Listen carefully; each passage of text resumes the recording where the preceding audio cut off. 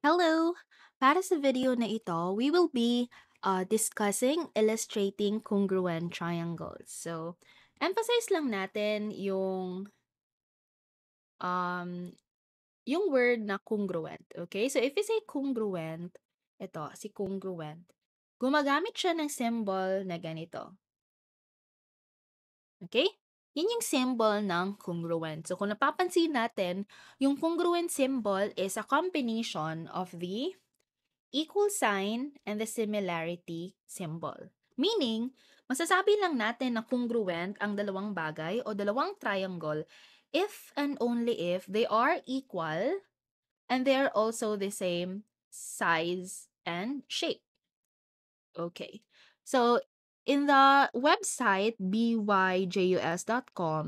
uh, may binigay sila na definition ng congruence of triangles. So, accordingly, two triangles are said to be congruent if all three corresponding vertices or corresponding sides are equal and all the three corresponding angles are equal in measure. So, we can slide, rotate, flip, and turn these triangles to look identical. If repositioned, they coincide with each other. So, meaning, um, if may dalawang uh, triangle tayo, uh, they are said to be congruent if yung tatlong corresponding sides at tatlong corresponding angles sila ay equal in measure. Or, if cut out, cut out lang sila ng triangle, so we could rotate, flip, or slide them. Tapos, pag in-overlap natin yung dalawang triangle, they should look identical and they coincide with each other. So, halimbawa, yung dalawang triangle natin dito, ito yung black outline na triangle, tapos si red outline na triangle. Okay? So, pag Rinotate natin tong isang to, itong si red triangle. Tapos, reposition natin at kino-inside sa pangalawang ay sa first na triangle. They look identical, right? Once we rotated the second triangle and we reposition them, they coincide with each other. So, ito yung halimbawa ng congruent triangle. So, these two triangles right here are congruent. Okay? So, if we um, label these two triangles, halimbawa, the first triangle, this is triangle um, ABC. Tapos, yung second triangle naman natin, this is triangle DEF. Right? So, para i-emphasize naman natin yung corresponding sides, tapos si corresponding angles. So, um, kung naaalala natin, once we overlap these two triangles, kung napapansin nyo, ba? So, itong mga vertex na to, ito, si vertex A, 'di ba? Ito, si vertex A ng first triangle, it is corresponding to the vertex D, 'di ba? This is D. Yan. Vertex D of our second triangle. Yan, ito ito. Tapos, ito namang pangalawang vertex natin, si vertex B ng black triangle natin ay corresponding siya dito sa vertex, anong vertex? Vertex E, ito, si vertex E ng ating second, tri uh, second triangle. Lastly, si vertex C naman ng ating first triangle ay corresponding sa ating vertex F sa ating second triangle. So, if we write it in symbols, um, vertex A corresponds with vertex D, vertex B corresponds with vertex E, tapos si vertex C naman corresponds with vertex F. Okay? Why are we um, looking or emphasizing the corresponding vertices? Kasi once we have identified yung corresponding vertices natin, mas madaling maisulat or ma-determine yung corresponding sides at corresponding angles ng ating dalawang triangle. Okay?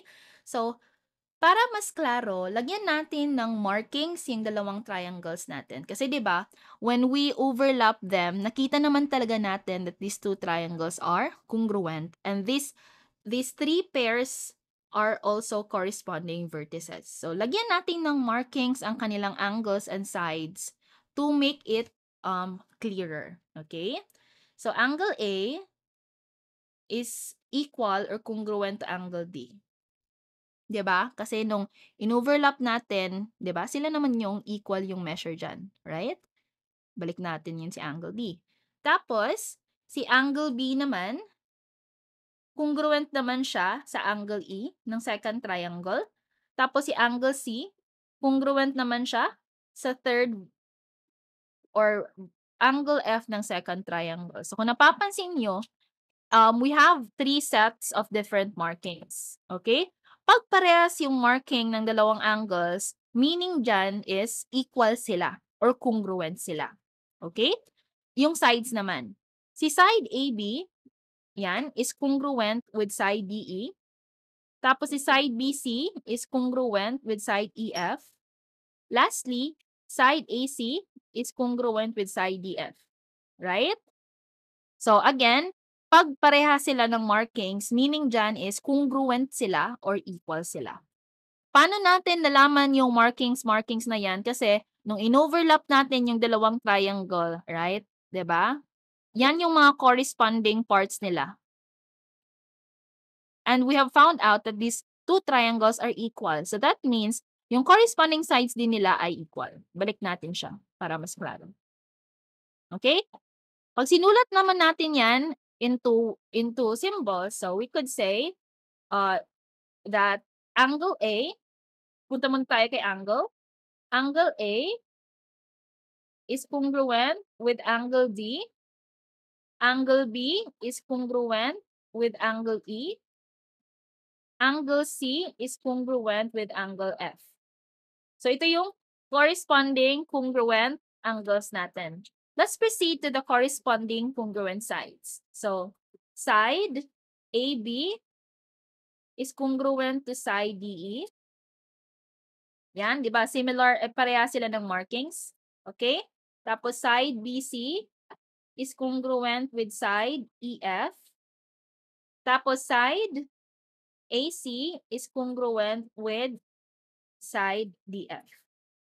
So, these are now the three corresponding congruent angles tapos the three corresponding congruent sides. Okay? And paalala lang, when we write the congruent statements, make sure na yung order ng vertices natin is same din ng order ng vertices sa pangalawang triangle. Okay? Ano yung guide natin dito? Um, kaya natin in-identify kanina yung corresponding vertices kasi yun yung guide natin eh. Okay? A corresponds with D. So kung napapansin nyo, si angle A then is congruent and corresponding to angle D and so on. Dito naman tayo sa pagsulat ng sides. ba? A, B, So therefore, sa pangalawang triangle, we also have the corresponding and congruent side na DE. Since A is corresponding with D, so dapat ganyan yung order nila. Di pwede na mag-exchange or mag-rearrange tayo ng vertices dahil hina-highlight natin yung corresponding vertices. Okay? So this means if we will write the overall congruent statement, si triangle ABC, ito yung first triangle natin, is congruent with triangle DEF, which is our second triangle. And let me emphasize, yung order ng kanyang vertices, di ba? Vertex A corresponds with vertex D, so dapat sila yung nauuna. You follow that? Tapos si angle B naman, ay si vertex B corresponds with vertex E, so same order pa rin, pa rin. Lastly, si vertex C naman corresponds with F. So same talaga yun ang order. Okay? So let's have more example. In here, um, may markings na tayo eh. So I think hindi na to masyadong problema. Okay? So first is, we have to identify the corresponding vertices, kagaya kanina. And yung mga identical markings na to, ito yung magiging guide natin to identify this corresponding part. So, if we overlap these two triangles, ano naman yung mga vertices na corresponding? So, guide natin yung mga symbols ha. So, let us identify. Uh, label natin. Corresponding vertices. Ano yung mga corresponding vertices natin? Angle Y corresponds with angle M. Eh, no, vertex Y corresponds with vertex M. So, yung mark, same markings lang yung guide natin.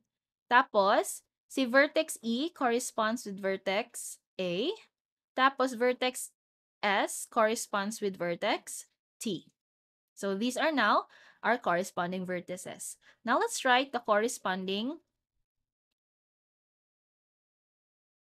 congruent sides or angles na lang tayo muna. Okay? So same markings, that means they are congruent with each other. So angle Y is congruent with angle M. Angle E is congruent with angle A. Angle S is congruent with angle T. Tapos pumunta naman tayo sa sides. Um, i-continue na lang natin to, no? Kasi wala na tayong space. Okay? So, in here, same markings pa rin. Side YE is congruent with, with side, si YE. Ano yung identical marking niya? MA. Side ES is congruent with side AT. Side YS is congruent with side MT. Okay?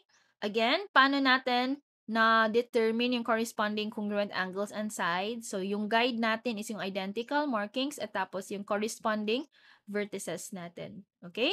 So, with this, we could say that ang triangle YES is congruent.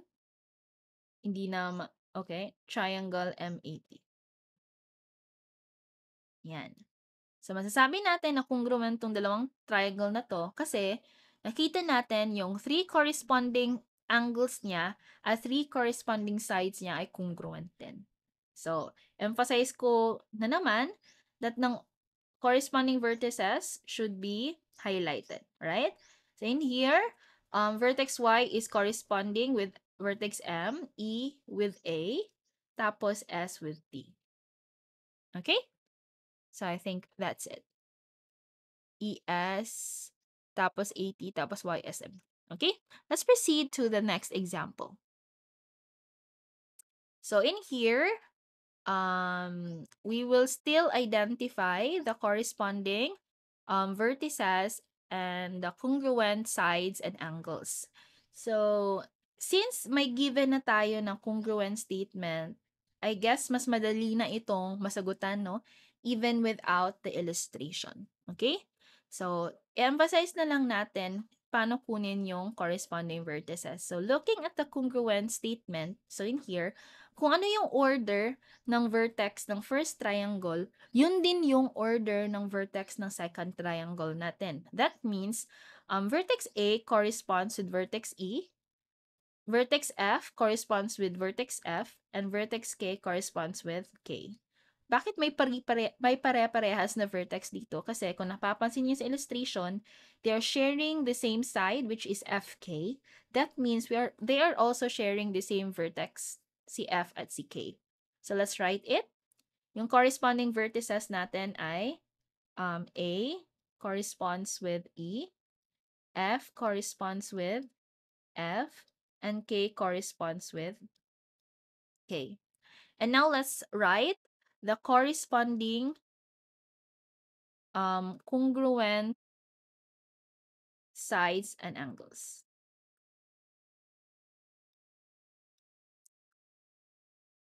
So, kahit walang marking yung illustration natin, pwede lang natin gamitin yung congruent statement. Okay? So, same order pa rin. So, angle A is congruent with angle E. Angle F is congruent with angle F. And angle K is congruent with angle K. Kung napapansin nyo, uh, may dalawang um, congruent statement tayo in which the two angles are the same, right? Because they share the same vertex. So, para mas klaro, um, mas mabuti na we will write these angles with the three vertices. Okay? So, ano yung angle F na sinasabi natin sa first triangle? Diba? Ito yon Right? An angle F here could also be named as angle A, FK. Ano naman yung second angle ng, uh, yung F naman ng second triangle, ito naman yun. Right? Could also be named as angle EFK. Para mas klaro. yung pangalawang triang ah, pangalawang angle naman na same lang. So, i-name din natin 'to using 3 vertices. So, ito yun, 'di ba? Yan. So, angle K in the first triangle could also be named as angle AKF. Tapos ito namang K ng second triangle could also be named as angle EKF. Why are we emphasizing naming the angles with three vertices? Kasi, um, para mas klaro kung anong which angle talaga yung pini-point out natin knowing that they are just sharing the same vertices. So, pag ganito na nagse-share sila ng vertices, mas maayos or mas klaro if we write these angles using three vertices. Okay? Now, let's proceed to the sides.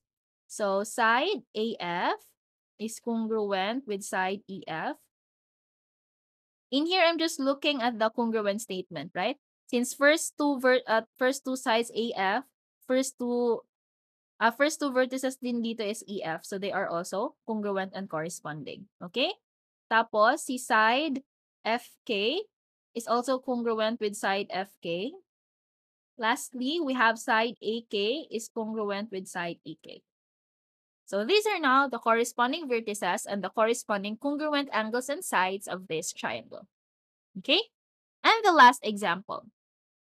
So dito, wala na talaga illustration. So we will just um determine it using the congruent statement. So in here, um angle uh, vertex A corresponds with D. So kung ano yung order lang ha, same lang yan. Vertex B corresponds with E.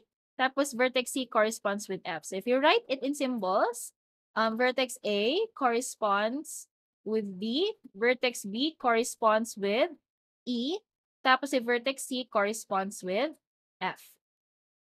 Then writing the corresponding sides and angles.